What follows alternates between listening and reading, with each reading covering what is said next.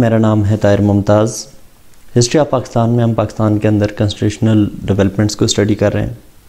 Previous sessions के अंदर 1947 से लेकर 1973 तक जो पाकिस्तान के अंदर कॉन्स्टिट्यूशनल डेवलपमेंट्स हुई, उनको डिटेल में डिस्कस किया। लास्ट सेशन में हमने ये चीज़ डिस्कस की थी कि 1973 के कॉन्स्टिट्यूशन में जो पहली चार अमेंडमेंट्स हुई थी, वो क्या थी, कब हुई, और उनके अंदर क्या क्या चीज़ें अमेंड की गई। जो फ़र्स्ट अमेंडमेंट थी that was the removal of references of east Pakistan from the constitution of 1973 जो फ़र्स्ट अमेंडमेंट है, उसमें 1973 के कॉन्स्टिट्यूशन के अंदर जो ईस्ट पाकिस्तान के रेफरेंसेस थे, उनको रिमूव कर दिया गया। सेकंड अमेंडमेंट के अंदर जो अहमदिया कम्युनिटी है पाकिस्तान में, उसको नॉन मुस्लिम डिक्लेयर कर दिया गया। जो थर्ड अमेंडमेंट थी, इसमें प्रिवेंटिव डिटेंशन के पीरियड को बढ़ा दिया गया। फोर्थ अमेंडमेंट के अंदर जो कोर्ट्स हैं, उनसे ये पावर ले लेगी कि वो किसी भी जो प्रिवेंटिव डिटेनी है, ये कोई नज़रबंद शख्स है, उसको बेल नहीं दे सकती। आज के सेशन के अंदर हम पाकिस्तान के जो 1973 का कॉन्स्टिट्यूशन है, इसकी फिफ्थ सिक्स और सेवन्थ अमेंडमेंट को डिटेल में डिस्कस करेंगे। जो फिफ्थ अमेंडमेंट है 1973 के कॉन्स्टिट्यूशन में ये अमेंडमेंट पास होती है 8 सितंबर 1976 को और 15 सितंबर को इसको इन्फोर्स कर दिया जाता है। इस बिल का, ये इस अमेंडमेंट का जो मेन फोकस था, वो जुडिशरी थी और जुडिशरी की पावर्स को कम कर दिया गया कि कुछ पावर्स जुडिशरी से ले ली गई इस बिल में। जैसा कि जो चीफ जस्टिस है सुप्रीम कोर्ट का, इसका टेनर पाँच साल तक के लिए फिक्स कर दिया गया और इसकी रिटायरमेंट की एज 65 रखी गई। इसी तरह से हाई कोर्ट के चीफ जस्टिस की जो रिटायरमेंट एज है, वो 62 ईयर रखी गई और इसका टेन्योर चार साल तक के लिए मुकर किया गया।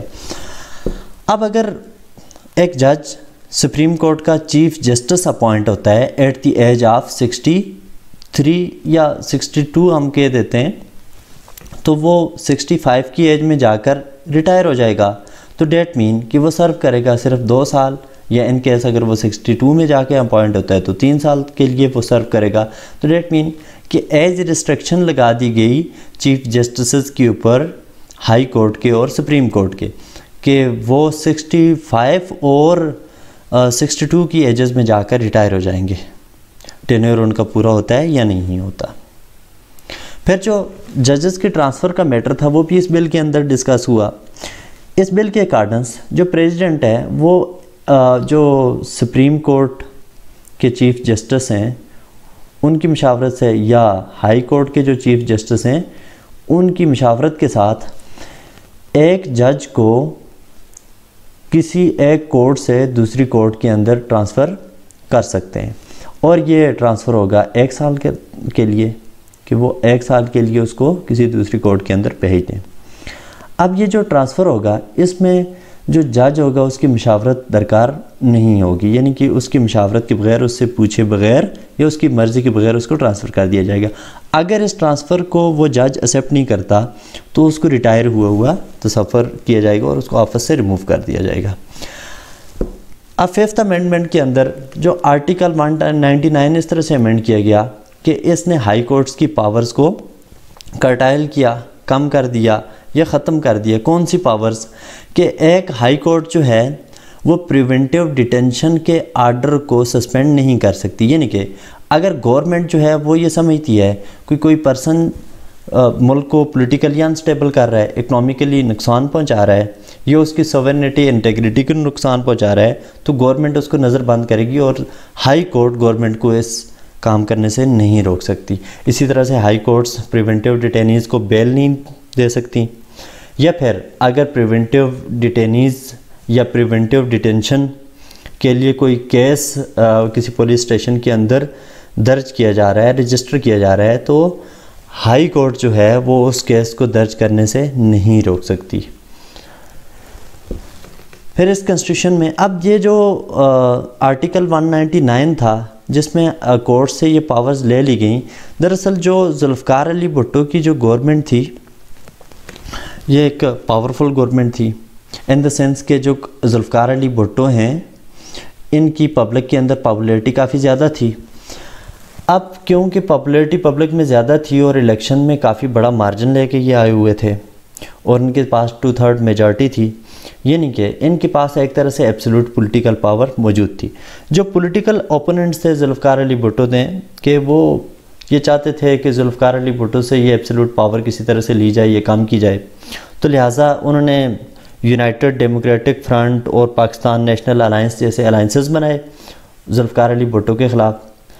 तो जुल्फ़ार अली भुट्टो ने इन पॉलिटिकल ओपोनेंट्स को किसी हिसाब किताब में रखने के लिए ये अमेंडमेंट की और आर्टिकल 199 अमेंड किया, जिसमें उन्होंने काफ़ी ज़्यादा जो पॉलिटिकल ओपोनेंट्स थे उनको नज़रबंद किया, जेलों में डाला, जो जुल्फ़ार अली भुट्टो की गवर्नमेंट को अनस्टेबल करना चाहते थे।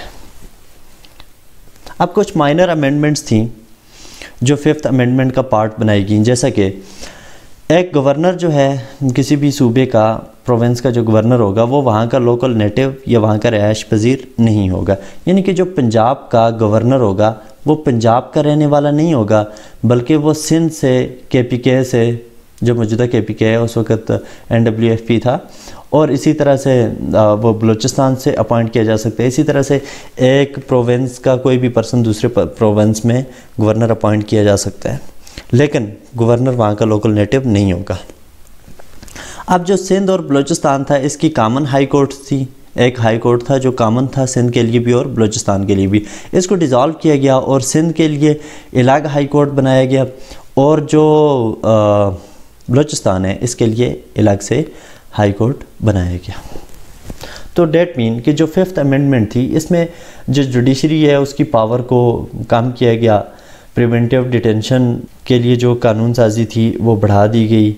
जो प्रिवेंटिव डिटेनीज़ हैं, उनको बेल नहीं दी जा सकती। उनके ख़िलाफ़ अगर कोई केस पुलिस स्टेशन में रजिस्टर करवाया जा रहा है तो हाई कोर्ट्स उस केस को रजिस्टर करवाने से नहीं रोक सकती।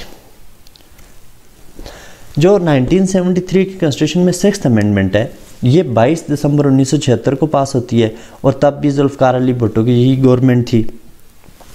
अब इस अमेंडमेंट के अंदर क्या किया कि जो चीफ जस्टिस थे सुप्रीम कोर्ट के और हाई कोर्ट के, उनका टेन्योर बियॉन्ड देयर एजेस बढ़ा दिया गया। कि अब ऐसा नहीं होगा कि कोई जज जो है वो 65 की एज में ही जाकर रिटायर होगा, बल्कि अगर कोई जज जो है वो अपनी सर्विस स्टार्ट करते हैं as chief justice of supreme court at the age of 64 तो वो सर्विस जारी रखेगा एट द एज ऑफ़ 69 जब तक कि उसके पाँच साल पूरे नहीं हो जाते। इसी तरह से जो आ, हाई कोर्ट है हाई कोर्ट के जज की रिटायरमेंट की एज थी सिक्सटी टू ईयर्स अब वो 62 में जाके रिटायर नहीं होगा, अगर उसका टेन्योर पूरा नहीं हुआ तो वो बियॉन्ड 62 सर्व कर सकता है, जब तक कि उसका चार साल का टेन्योर पूरा नहीं हो जाता। जो सेवन्थ अमेंडमेंट थी 1973 की कॉन्स्टिट्यूशन में, ये 16 मई 1977 को इन्फोर्स की गई पास होने के बाद।